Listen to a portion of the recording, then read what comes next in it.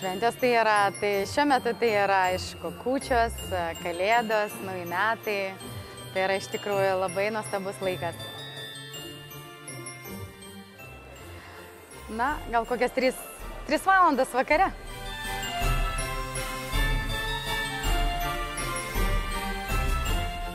Artimųjų e, gražus žodžiai ir šilti.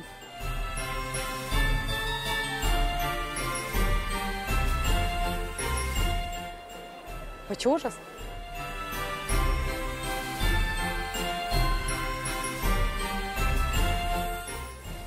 Nėra tokio. Silkė patelė.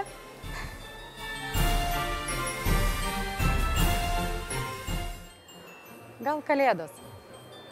Tai yra tiesiog graži šventė, jaukų, namie, prie glūtės, su šeima, su draugais, artimais. Galbūt man jinai tokia artimesnė širdžiai.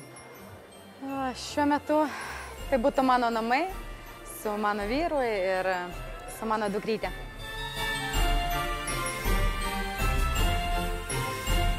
Būna kartais tokia tradicija uh, užsirašyti ant lapuko savo norą ir jį sudeginti ir išgerti taurę šampano, užsigeriant. Bet aš negaliu dabar atskleisti, nes tai yra svajonė. Tai būna tos svajonės, kurios iš tikrųjų kartais išsipildo.